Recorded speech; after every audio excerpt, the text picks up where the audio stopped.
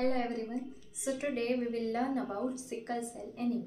So for that we have to first learn what is the normal structure of hemoglobin. Okay. So adult hemoglobin consists of HbA, HbA2 and HbF. So most of the percentage of HB 95 to 98 percentage of HB is HbA. Okay. And it consists of two alpha chain and two beta chain.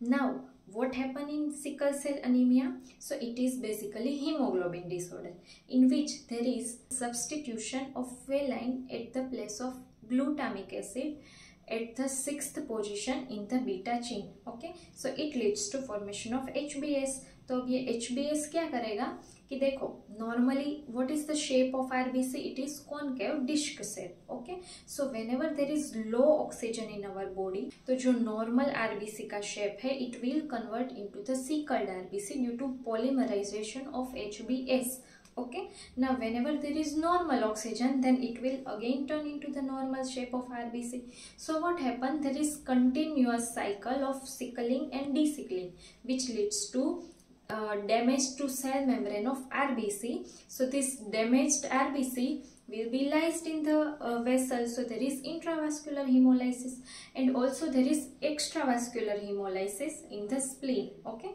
So what are the clinical features? There is hepatosplenomegaly. So in child there is growth retardation. Okay. And due to uh, occlusion of vessels in the ankle there is recurrent leg ulcer also and there is dactylitis and avascular necrosis of femur this all occur due to occlusion of vessel now why there is occlusion of vessel because this sickled rbc will aggregate and it will block the vessel so it leads to vascular occlusion okay? This is all about pathogenesis of sickle cell disease. Thank you